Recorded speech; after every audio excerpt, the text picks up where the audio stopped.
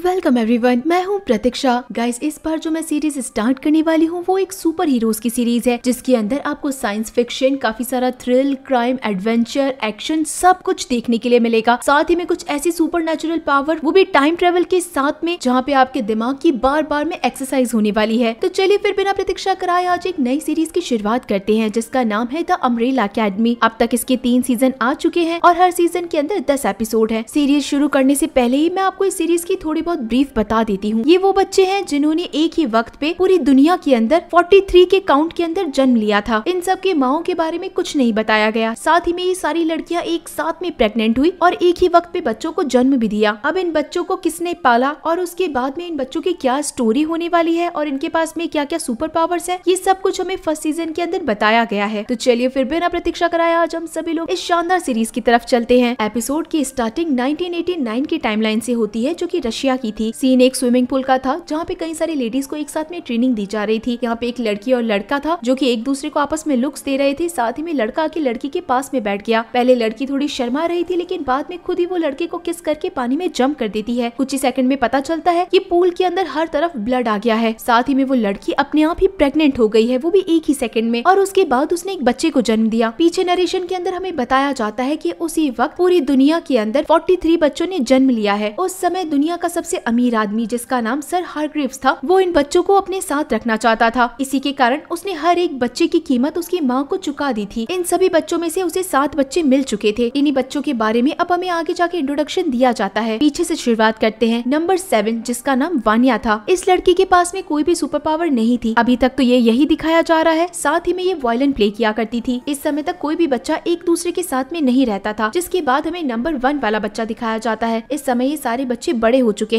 इस लड़के का नाम लूथर है, जो कि इस समय स्पेस में रह रहा है और पिछले काफ़ी सालों से स्पेस में ही है। दूसरा लड़का, जिसका नाम डियागो है, इसके पास में तेज भागने की, जंप करने की और साथ ही में चाकू वाकू मारने की बहुत अच्छी खासी पावर है। डियागो का मेन काम यही था कि अगर कोई भी चोरी चकारी करे तो वो वहाँ पे जाके हीरो बन के उस इंसान की मदद करे। या फिर हम कह सकते हैं कि पुलिस आने से पहले ही डियागो लोगों की मदद किया करता था। नंबर थर्ड पे आती है एलिसन, जो की एक सेलिब्रिटी है। रेड कार्पेट पे वो शो कर रही थी, यानी की वो एक बहुत बड़ी एक्ट्रेस बन चुकी है। फोर्थ नंबर पे हमें क्लाउस दिखाया जाता है ये एक ड्रग एडिक्ट था, साथ ही में चोरी चकारी भी करता था। हॉस्टल के अंदर रहा करता था, लेकिन जब भी उसे टाइम मिलता था ड्रग एडिक्ट होने के कारण वो वहाँ से चला जाया करता था। नंबर फाइव और नंबर सिक्स के बारे में अभी तक हमें नहीं बताया जाता है, जिसके बाद एक साथ में इन पाँचों बच्चों के पास में इन्फॉर्मेशन आती है। यानी कि लूथर को स्पेस में डियागो को एक टीवी चैनल से एलिसन को उसकी सेक्रेटरी के थ्रू क्लाउस जो कि ऑलमोस्ट मर रहा था, उसे एंबुलेंस के अंदर, और साथ ही वानिया जो कि सड़क पे चल रही थी, और सामने एक टीवी की शॉप के अंदर से। इन पाँचों बच्चों के पास में जो इन्फॉर्मेशन आती है वो ये थी कि इनके फादर, जिन्होंने इन सारे बच्चों को बड़ा किया है, सर हारग्रिव्स, उनकी डेथ हो गई है। पाँचों में से किसी को भी बिलीव नहीं होता इस बात पे कि वो आखिर ज़िंदा कैसे नहीं है इस वक्त तक। हालाँकि वो बूढ़े थे, लेकिन उन्हें कोई मार नहीं सकता था, और इन्हें ये भी पता था कि कोई भी बच्चा वापस से मिलने के लिए नहीं आएगा, जिसके बाद सीन उसी बड़े से मेंशन के अंदर शिफ्ट हो जाता है, जहाँ पे ये सारे बच्चे बड़े हुए हैं। हारग्रिव्स के साथ में इन सारे बच्चों की पिक्चर थी, लेकिन एक एक करके बच्चे कम होते जा रहे थे। सबसे इम्पोर्टेंट चीज़ की वानिया किसी भी पिक्चर के अंदर कभी थी ही नहीं। उसके बाद गायब हुआ नंबर फाइव जिसके बाद नंबर सिक्स यानी कि बेन गायब हो गया था। आखिर में सिर्फ़ चार बच्चे ही बचे थे। वानिया अब तक मैंशन के अंदर पहुँच चुकी थी और हमें यहाँ पे इनकी मॉम भी दिखाई जाती है, जो कि थोड़ी सी अपसेट सी ही लग रही थी। वानिया के सामने एलिसन थी। वानिया को बिलीव नहीं होता कि एलिसन आखिर इतनी बिज़ी होने के बावजूद भी अपने फादर के मरने की खबर सुन के यहाँ पे पहुँच गई है। इसी समय यहाँ डियागो भी आता है, जो की वानिया को बोलता है की ये लड़की हमारे बीच में एग्जिस्ट करती ही नहीं है, इसे तो यहाँ पे आना ही नहीं चाहिए था। लेकिन एलिसन बात को काट देती है और डियागो को बोलती है की जितना ये घर तुम्हारा है, उतना ही घर वानिया का भी है। डियागो ऊपर जाने लगता है अपने फादर के मेन रूम के अंदर, जहाँ पे उसकी मुलाकात लूथर से होती है। लूथर को भी नहीं पता था कि यहाँ पे और भाई बहन भी आए हुए हैं। डियागो का कहना था लूथर से कि अब उसकी बॉडी थोड़ी सी और ज़्यादा बढ़ गई है। आखिर ये सब क्या चल रहा है? साथ ही में लूथर का कहना था डियागो से कि उसे लगता है कि उसके फादर की डेथ अननेचुरल है, यानी कि उनका किसी ने मर्डर किया था। लेकिन डियागो के पास में उनके मरने की रिपोर्ट थी, वो अपने साथ ही लेकर आया था और वो कहता है कि उनकी मौत हार्ट अटैक से हुई है। लेकिन लूथर कहता है कि मैंने जब उनकी पिक्चर्स देखी थी तो उसके अंदर उनका मोनिकल नहीं था। वही चश्मा जो कि आँख के ऊपर लगा रहता है और जो कि सर हारग्रिव्स के पास में हमेशा रहता था, लेकिन मौत के वक्त वो उनके पास नहीं था। इसका मतलब है कि उस समय कोई और भी कमरे में था। डियागो का कहना था कि तुम गलत सोच रहे हो। वो भी हमेशा की तरह। और अच्छा हुआ कि वो मर गए। हर कन्वर्सेशन के अंदर गाइस हमें ये चीज़ तो पता चल रही थी कि ये बच्चे सर हारग्रिव्स को पसंद बिल्कुल नहीं करते थे, जिसके बाद सीन वानिया के ऊपर शिफ्ट होता है। उसने एक बायोग्राफी लिखी थी, या फिर हम कह सकते हैं कि अपने भाई बहनों से रिलेटेड जो भी उसके पास में नॉलेज थी, या फिर कहें कि जो भी उसके पास में यादें थी, उसने सब कुछ एक बुक में उतार दी थी। उसने ये बुक अपने फादर यानी कि सर हार्ग्रिव्स को भी भेजी थी पढ़ने के लिए, लेकिन उन्होंने ये बुक शायद कभी नहीं पढ़ी। ये बात वानिया को पोगो आके बताते हैं। पोगो असल के अंदर एक चिंपैंजी है जो की बात कर रहे हैं। पोगो सर हार्ग्रिव्स के साथ में बहुत पुराने टाइम से रहते थे। ये उनके असिस्टेंट भी थे और साथ ही में बहुत अच्छे दोस्त भी थे। पोगो कहते हैं कि मैंने तो उन्हें कभी ये बुक पढ़ते हुए नहीं देखा है, लेकिन मुझे खुशी हुई की तुम यहाँ पे वापस आई हो। वानिया को भी ये बात पसंद नहीं थी की उनके फादर उनसे कभी प्यार नहीं करते थे। हमें पास्ट का एक सीन दिखाया जाता है, जहाँ पे मॉम सारे बच्चों को एक साथ में लेके आती है सर हार्ग्रिव्स के पास में, लेकिन आज भी ये दिन वही था जब वो बच्चों को कोई भी रिप्लाई नहीं करते। इसी के साथ हम एलिसन को देखते हैं जो की अपने फादर की उस रूम में पहुँचती है, जिस रूम के अंदर एंटर करने के लिए सभी को मनाई थी। रूम के अंदर उसे किसी और की भी आहट होती है, जहाँ पे हम क्लाउस को देखते हैं। अब क्लाउस की तो आदत थी हर जगह चोरी चकारी करने की तो इस बार भी वो अपने फादर के कमरे के अंदर कुछ तो चीज़ें ढूंढ रहा था। क्लाउस भी एलिसन को देख के खुश था और साथ ही में अपने फादर को गालियाँ दे रहा था कि अच्छा हुआ जो वो मर गए। एलिसन समझाती है कि जो भी है, आखिर थे तो वो हमारे फादर ही, लेकिन क्लाउस को इन चीज़ों से कोई फ़र्क नहीं पड़ता कि वो ज़िंदा है या मर गए। आखिरकार जो भी हुआ, इन लोगों को कमरे के अंदर आने की तो इजाज़त मिली। क्लाउस एलिसन से बातें कर ही रहा था और इतनी देर में यहाँ पे लूथर आ जाता है, जो की क्लाउस को यहाँ से जाने के लिए कहता है, लेकिन जाने से पहले उसे अपनी सारी जेबें खाली करनी पड़ेगी, क्योंकि क्लाउस ने कई सारे सामानों को चुरा लिया था। जाने से पहले क्लाउस उन सामानों को निकालता है, लेकिन हमें पता चलता है की क्लाउस ने अभी भी एक बॉक्स अपने पास रख रखा था, जो की उसने अपने फादर के रूम से चुराया था। लूथर आके एलिसन से मिलता है और एलिसन से उसकी लाइफ के बारे में पूछता है, क्योंकि एलिसन की शादी हो चुकी थी, लेकिन इस समय एलिसन का डाइवोर्स भी हो चुका था और उसकी बेटी की कस्टडी उसके हस्बैंड को मिल गई थी। ये चीज़ें सुन उनके लूथर को कुछ अच्छा नहीं लग रहा था और बुरा भी लग रहा था। लूथर की ज़िंदगी भी काफ़ी ज़्यादा अकेली थी। वो अकेला ही स्पेस में रहता है और उसके साथ इस वक्त कोई भी नहीं है। साथ ही लूथर एलिसन से ये बात भी डिस्कस करता है की उसे सारे भाई बहनों से मिलकर कुछ बात करनी है। अब जब सारे बच्चे एक साथ में हॉल में पहुँच गए थे तो लूथर का कहना था की हमारे फादर ऐसे ही नहीं मरे हैं। डियागो और क्लाउस को इस चीज़ में कोई इंटरेस्ट नहीं था की इनके फादर कैसे मरे हैं, लेकिन लूथर सबको मोनिकल वाला कॉन्सेप्ट समझाता है और साथ ही क्लाउस को कहता है कि उसे एक बार अपने फादर से बात करनी चाहिए। अब गाइज़ लूथर इतना ज़्यादा स्ट्रॉन्ग है तो हम कह सकते हैं कि लूथर के पास में स्ट्रॉन्ग रहने की पर्सनैलिटी है। एलिसन की पावर गाइज़ ये थी कि वो किसी के अंदर भी भ्रम पैदा कर सकती थी। यानी कि अगर वो किसी को कोई भी बात कह देती है तो वो बात सच हो जाती है। साथ ही में क्लाउस के पास पावर थी कि वो आत्माओं से बातें कर सकता था। इसी के कारण लूथर क्लाउस को कहता है कि तुम हमारे फादर से बात करो। लेकिन क्लाउस इतना ज़्यादा ड्रिंक कर चुका था कि वो इस हालत में नहीं था कि वो अपने फादर से बातचीत कर सके। लूथर जब इस बात के ऊपर ज़्यादा ज़ोर देने लगा तो डियागो कहता है कि तुम्हारा कहने का मतलब क्या है? कि क्या हम में से किसी ने मारा है? जब ये बात सब लोग एक साथ में सुनते हैं तो सब गुस्सा हो जाते हैं कि लूथर आखिर यहाँ पे आके क्या कहना चाहता है कि हम में से किसी ने हमारे ही फादर को मारा है। इसी के कारण सारे वहाँ से बाहर चले जाते हैं। अब इन बच्चों का क्या पास था? इसी के कारण कहानी सत्रह साल पहले शिफ्ट हो जाती है। इस समय बैंक के अंदर एक रॉबरी हो रही थी और सबसे पहले यहाँ पे एलिसन पहुँचती है, जो की यहाँ के लीडर के कान में बताती है की मैंने सुना है की तुमने तुम्हारे दोस्त के पैर पे गोली मार दी है। लीडर जैसे ही बात सुनता है, ये बात सच हो जाती है। वो अपने दोस्त के पैर पे गोली मार देता है। तभी लूथर जंप करके आता है। इसी समय डियागो भी आता है, जो की वही के लोगों के कंधों पे चाकू मार देता है।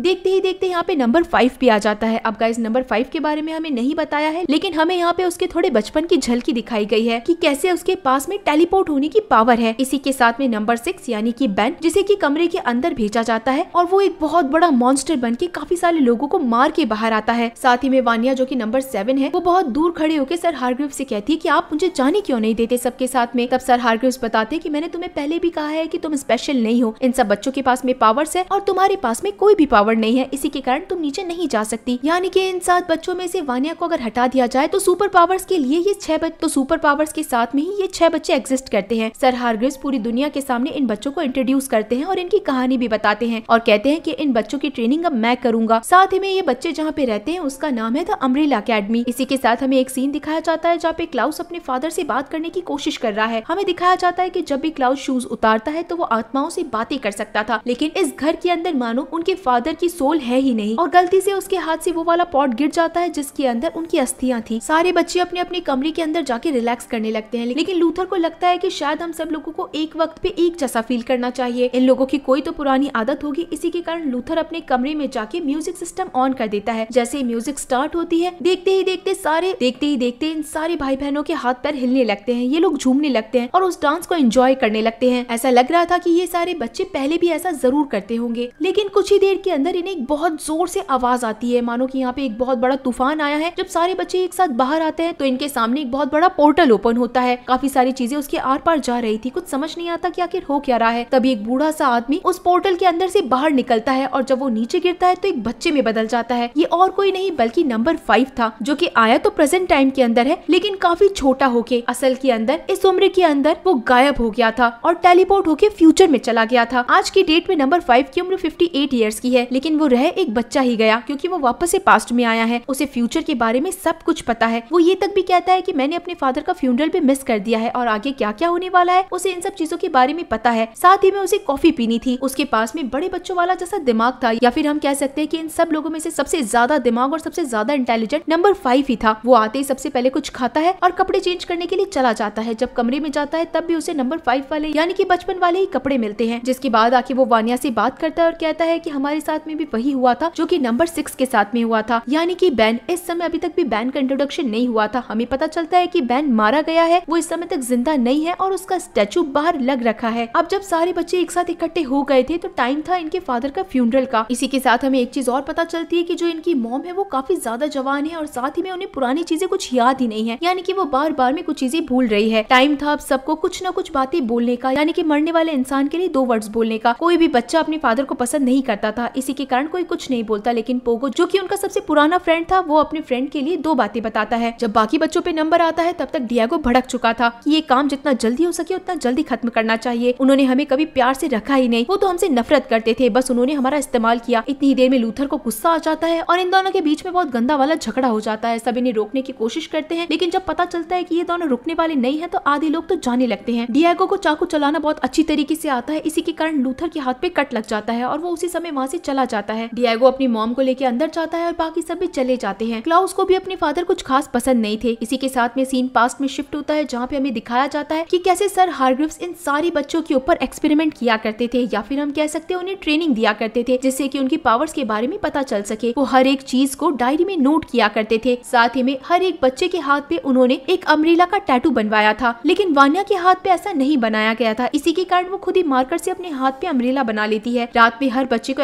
एग्जामिन करने के लिए उनके सर पे चिप लगाई जाती है ताकि सपने में वो जो भी चीज़ सोच रहे हैं या फिर उनके दिमाग में जो भी चीज़ें चल रही है, वो सब कुछ सर हार्ग्रिव्स नोट कर सके। अब यहाँ पे जब किसी भी बच्चे के अंदर कोई भी आपस में कम्युनिटी नहीं थी तो ये बच्चे एक एक करके वापस से यहाँ से जाने लगते हैं। जाने से पहले वानिया पोगो से मिलती है और फिर वहाँ से चली जाती है। नंबर फाइव जिसे कॉफ़ी चाहिए थी और उसे पूरे घर के अंदर कॉफ़ी कहीं भी नहीं मिल रही थी। इसी के कारण वो सब लोगों को कहता है कि या तो इस घर में कॉफ़ी नहीं है, नहीं तो मैं बाहर जा रहा हूँ। एलिसन कहती है कि तुम इतने छोटे हो, ना तो तुम्हारे पास में लाइसेंस है और ना ही तुम्हें गाड़ी चलानी आती होगी। लेकिन नंबर फाइव असल के अंदर 58 इयर्स का था, जिसे सब कुछ आता था। डियागो को भी इस जगह पे रुकने में कोई इंटरेस्ट नहीं था और क्लाउस कहता है कि तुम अगर जा रहे हो तो मुझे भी छोड़ दो। एक तरफ़ नंबर फाइव चला जाता है, वहीं पे डियागो और क्लाउस भी चले जाते हैं। वानिया तो चली ही गई थी। ये सब कुछ लूथर अपने विंडो से देख रहा था। साथ ही में हमें उसके हाथ का सीन दिखाया जाता है, जो की इस समय कटा हुआ है, लेकिन बहुत अजीब लग रहा था। बहुत बड़ी चीज़ रिवील होती है। जो मॉम हमें दिखाई जा रही है, वो असल के अंदर एक इंसान नहीं, बल्कि एक रोबोट थी, जो कि सर हार्ग्रिव्स ने बनाई थी इन बच्चों की देखभाल के लिए। और इस रोबोट को भी चार्ज होने की ज़रूरत थी। इसी के साथ हम नंबर फाइव को देखते हैं जो कि कॉफ़ी शॉप के अंदर आ गया था। वहाँ के वेटरेस को बिलीव नहीं था कि ये बच्चा आखिर कॉफ़ी क्यों मांग रहा है। लेकिन उसके पास बैठा जो आदमी है, वो नंबर फाइव की कॉफ़ी का पेमेंट करके वहाँ से चला जाता है। कुछ ही देर में हमें पता चलता है की नंबर फाइव को ट्रैक करते हुए यहाँ पे कई सारे लोग पहुँच गए हैं। लेकिन नंबर फाइव के पास में टेलीपोर्टेशन की पावर थी। इसी के कारण वो सारे लोगों को चकमा दे के एक दूसरे को वहीं पे मार के उस होटल का हाल बुरा करके वहाँ से बाहर चला जाता है। और बाहर जाने से पहले वो खुद के हाथ में लगी हुई चिप को भी निकाल के वहीं पे फेंक देता है जिसके बाद हमें डियागो दिखाया जाता है और उसी के हाथ में वो मोनिकल था, जिसके बारे में लूथर कह रहा था। डियागो उस मोनिकल को पानी के अंदर फेंक देता है और फिर कार में जाने लगता है। इससे पहले हमें दिखाया जाता है की यहाँ पे क्लाउस बैठा है, जो कि किसी से तो बात ही कर रहा है। जब डियागो गाड़ी के अंदर बैठता है तो वहाँ पे उसे कोई नहीं दिखता है। असल के अंदर ये नंबर सिक्स यानी की बैन की आत्मा थी। क्लाउस हर किसी आत्मा से बातें कर सकता था और नंबर सिक्स इस समय उसी के साथ में था। नंबर फाइव भाग के इस समय वानिया के पास आ जाता है, क्योंकि उसे सबसे ज़्यादा ट्रस्ट वानिया पे ही था। वो कहता है, मुझे तुमसे कुछ बात करनी है। मैं जब फ्यूचर के अंदर गया था तो वहाँ पे मैंने बहुत बुरी बुरी चीज़ें देखी। पूरी अर्थ डिस्ट्रॉय हो चुकी थी। वहाँ पे कुछ भी नहीं बचा था। मैं जब तक गया था तो वहाँ पे सिर्फ़ एक मैं ही एग्जिस्ट कर रहा था। वानिया पूछती है कि तुम आखिर वहाँ से वापस कैसे आए? तब बैन बताता है की उसने अपने सबकॉन्शियस माइंड के ऊपर काफ़ी ज़्यादा कंट्रोल किया और काफ़ी ज़्यादा पावर्स का यूज़ किया, जिसके कारण वो वापस से पास्ट में पहुँच गया, जबकि पहुँचना उसे प्रेजेंट के अंदर था। नंबर फाइव वापस से बताने लगता है कि कैसे पूरा अर्थ डिस्ट्रॉय हो गया था और वो किसी भी चीज़ को रोक नहीं पा रहा था, लेकिन वो पास्ट में इसीलिए आया है ताकि वो फ्यूचर की चीज़ों पे कंट्रोल कर सके।